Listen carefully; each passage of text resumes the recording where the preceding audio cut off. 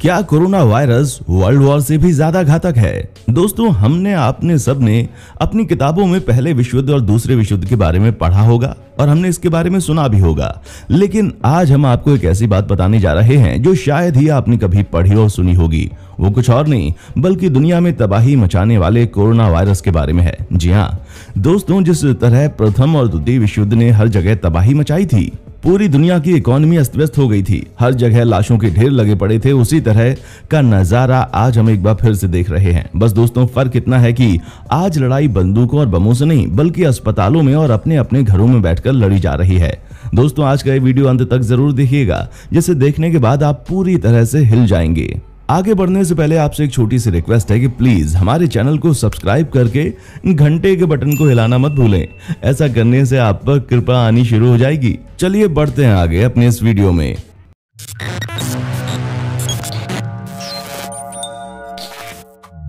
दोस्तों, आज corona virus पूरी दुनिया में अपने पैर पसार कर बैठ चुका है और दूर दूर तक इसके रुकने के कोई आसार नहीं दिखाई दे रहे हैं।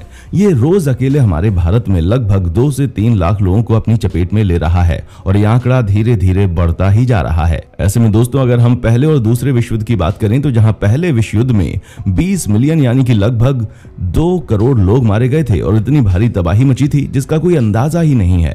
क्योंकि दोस्तों, उस समय जब प्रथम विश्व युद्ध हुआ था, तब तो दुनिया भर में उतनी ज़्यादा आबादी नहीं थी और जो दो करोड़ लोग मारे गए थे, वो साल 1914 से लेकर 1918 के बीच मारे गए थे। यानी कि दो करोड़ लोगों को मरने में चार साल का वक्त लगा था।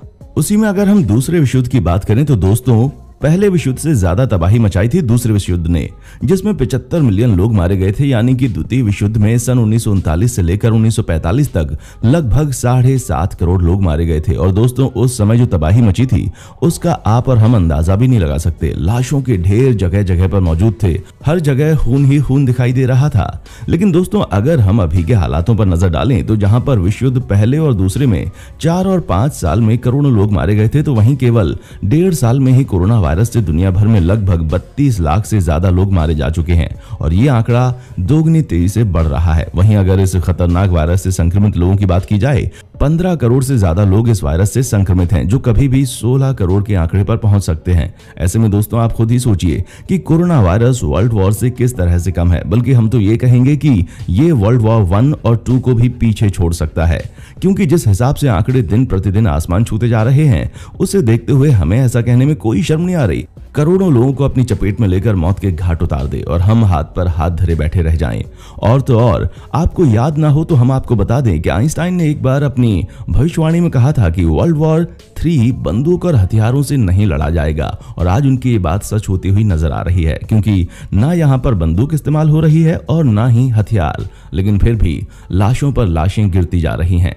चीन के वुहान शहर से आए इस वायरस ने आज पूरी दुनिया में अपना कब्जा कर लिया है और शायद ही कोई ऐसा देश मौजूद होगा जहाँ पर इस वायरस ने अपने मनहूस कदम ना रखे हों। दोस्तों, जहाँ ये वायरस दुनिया भर में तेज़ी से बढ़ता जा रहा है, वहीं पूरी दुनिया की निगाहें आज भारत पर टिकी हुई हैं, जिसकी सबसे बड़ी वजह यह है कि आज हमारे देश में जितनी ज़्यादा आबादी है, उतनी ही कम मेडिकल फैसिलिटीज़ है।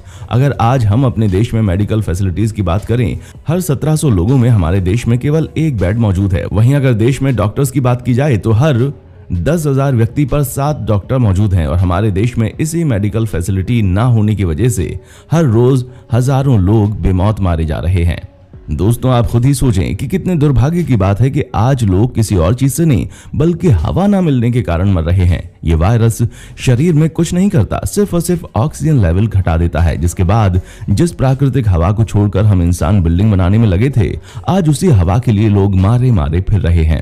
दूसरे देशों से हमारे भारत को ऑक्सीजन लेनी पड़ रही है। एक वक्त था जब हमने छह सात महीना पहले इस खतरनाक वायरस से जंग जीती थी, लेकिन हमारे देश की जनता और यहाँ पर लाखों करोड़ों लोगों को इकट्ठा करके रैली करने वाले नेताओं ने सब कुछ चौपट करके रख दिया, जिसकी वजह से हमें आज के समय में कोरोना वायरस की ये दूसरी लहर देखने को मिल रही है, जो कि इतनी खतरनाक है कि हर सेकंड लोगों को अपनी चपेट में लेकर मौत के आगोश में पहुँचा दे रही है। हालात इतने बदतर हो चुके हैं कि शमशान घाट तक में कोरोना वायरस से मरने वाले लोगों को जलाने तक की जगह नहीं बची है। में तो ये हाल है कि एक की लाश उठती नहीं और दूसरा मौत की कगार पर आकर खड़ा हो जाता है। कितने ही बच्चे अनाथ हो गए यहाँ पर। इस कोरोना वायरस ने हमारे देश की बड़ी बड़ी हस्तियों को भी हमसे छीन लिया है।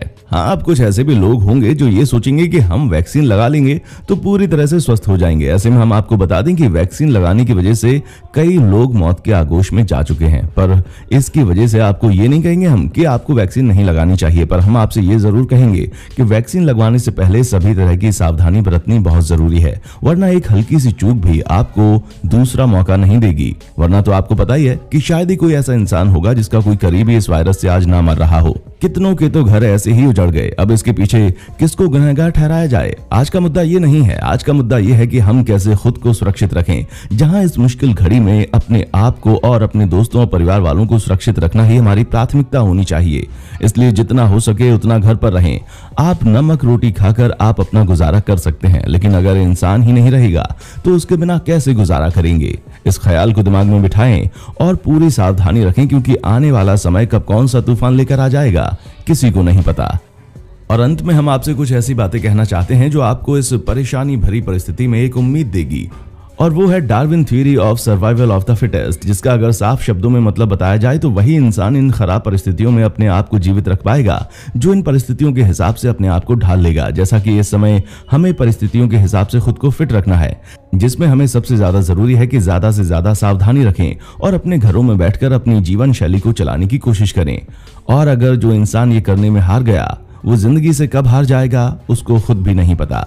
दोस्तों, आज के लिए बस इतना ही। आप इस युद्ध में किस तरह से अपना समर्थन दे रहे हैं, हमें कमेंट करके ज़रूर बताएँ। और ऐसी ही इंटरेस्टिंग वीडियोस को लगातार देखते रहने के लिए हमारे चैनल फैक्ट मंत्रा को लाइक शेयर और सब्सक्राइब करना ना भूलें। और हाँ हम फिर मिलेंगे एक नई वीडियो के साथ। तब तक जय हिंद, जय भारत। देखने के लिए शुक्रिया।